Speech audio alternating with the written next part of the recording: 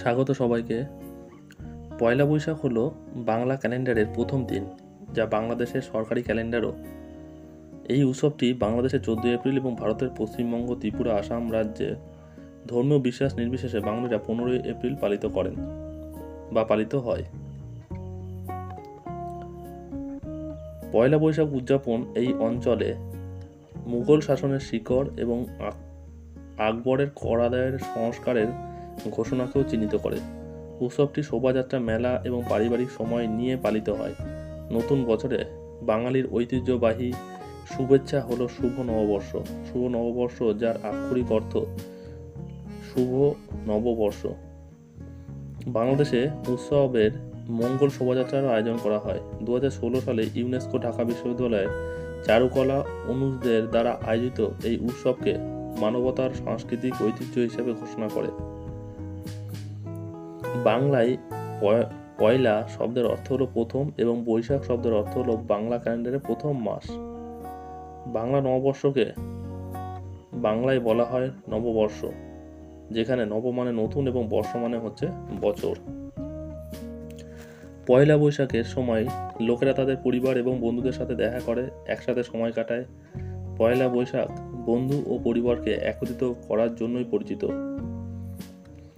হালখাতা হলো পয়লা বৈশাখ উপলক্ষে পালিত একটি উৎসব যাতে গত বছরের সমস্ত হিসাব নিকাশ শেষ হয় এবং একটি নতুন খাতা খোলা হয়।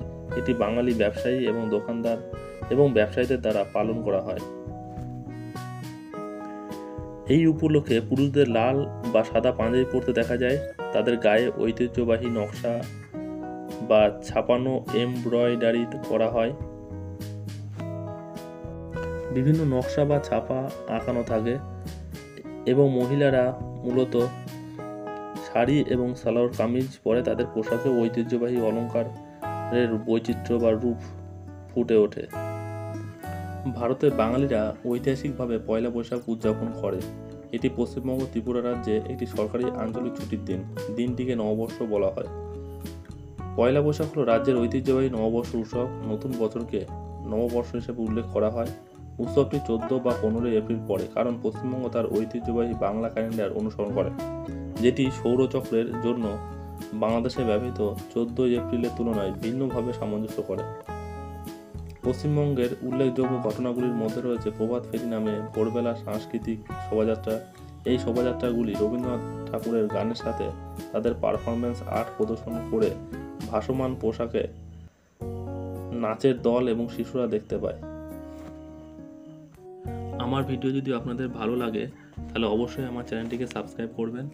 আরও নতুন নতুন ভিডিও পাওয়ার জন্য পাশে থাকা বেল আইকনটিকে বাজিয়ে দেবেন। ধন্যবাদ সবাইকে, ভালো থাকবেন।